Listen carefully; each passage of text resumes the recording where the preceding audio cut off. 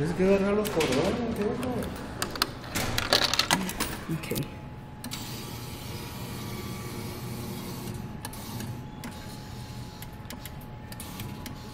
Ahí.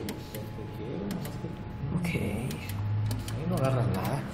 Es que lo quiero jalar de las cosas ahí.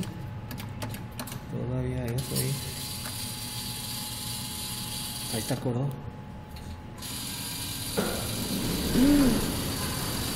¡Ah! Debe agarrar los cordones. Oh my god.